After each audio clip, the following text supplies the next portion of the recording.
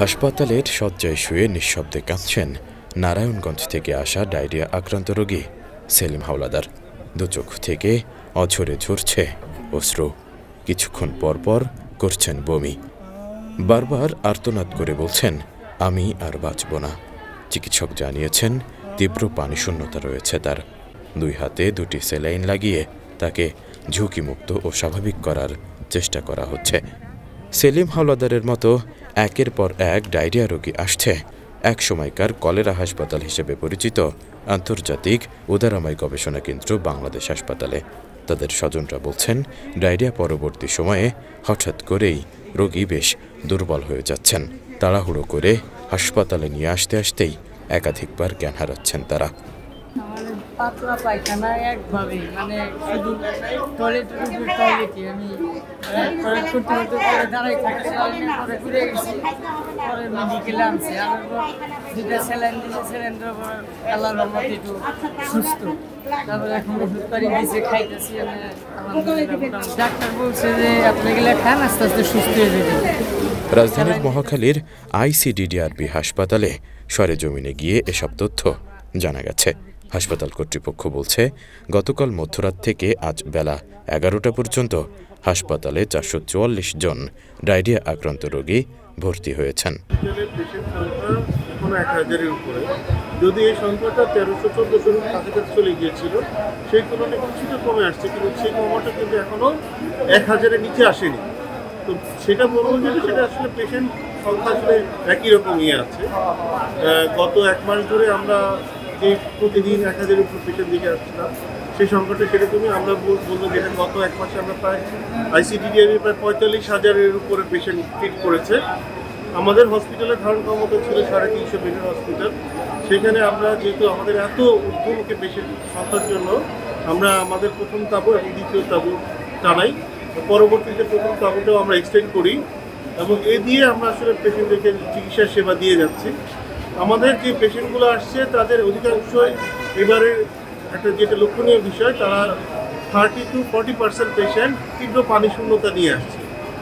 এবং এই পানি শূন্যতা যদি বয়স অনুযায়ী আমরা ভাগ করি, তাহলে প্রাপ্তবয়স্ক সংখ্যাটাই বেশি। তবে এখানে শিশুরাও আসছেন, অনেক শিশু বাচ্চা আসছেন, তীব্র পানি শূন্যতা নিয়ে। আর আমরা ভাবছিলাম রমজান মাসে কিছুটা কমে আসবে, কিন্তু সেই কমাটা এখন আমরা দেখছি না। এখনও সেরকমই আছে। ডায়রিয়ার কলের একই জিনিসটা একই একটা আচ্ছা, আমাদের যেটা হলো যে এইবারে যে ডায়রিয়াটা হচ্ছে যে এটার মানে যদি মাইক্রোবায়োলজিক্যাল কস্টটা যদি আমরা চিন্তা করি তাহলে সেটা হলো ভিব্রিও কলেরি এবং অ্যান্টোটক্সিজেনিক ইকোলাই এই দুটো দিয়েই বেশি হচ্ছে।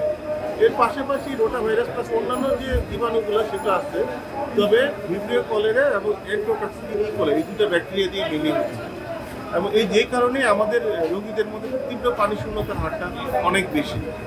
আর কলেরা আসলে ব্যাকটেরিয়া জনিত মানে জীবাণু ঘটিত কারণে হয়, যার মূল কারণ হলো পানি।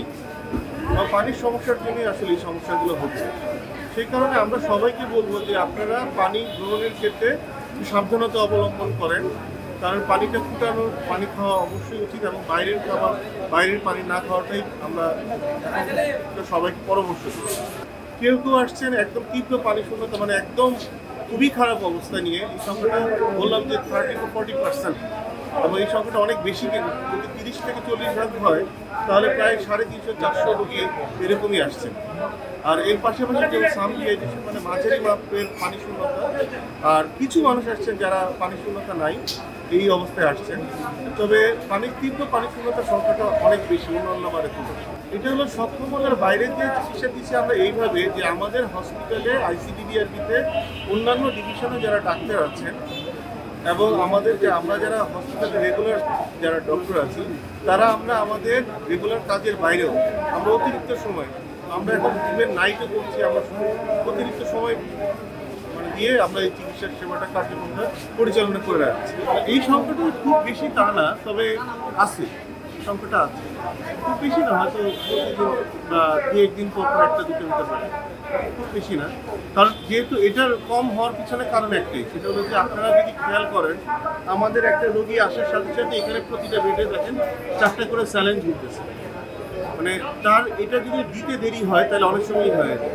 আর আরেকটা সমস্যা যেটা, সেটা হলো যে ঢাকা শহরে তীব্র যানজট থাকার ফলে অনেকের পথে এসে সমস্যা যে তারা হসপিটাল পর্যন্ত আসতে পারে না, এরকমও হয়। তাদের ক্ষেত্রে এই ঝুঁকিটা বেশি হয়ে যায়। সেই কারণে প্রত্যেকে আমরা পরামর্শ দিব যে আপনারা খাবার স্যালাড বাংলাদেশের ঢাকা শহরে অ্যাভেলেবেল যে কোনো ফার্মেসিতে পাওয়া যায়। ডায়রিয়া হওয়ার সাথে সাথে খাবার স্যালাডের সাথে সাথে গ্রহণ করবেন এটাতে যেন কোনো দেরি না করেন বমি হবে। এর মধ্যে আপনারা অল্প অল্প করে আমরা যদি বলি, সহজ ভাষা বলি, চা যেমন আস্তে আস্তে খাই, সেরকম আস্তে আস্তে খাই। হ্যাঁ? কিন্তু খাবার স্যালাড আপনারা গ্রহণ করেন।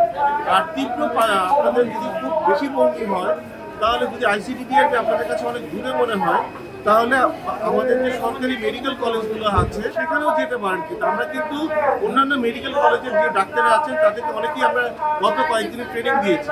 ফলে সেখানে গেলেও আপনারা এই সেবাটা পাবেন।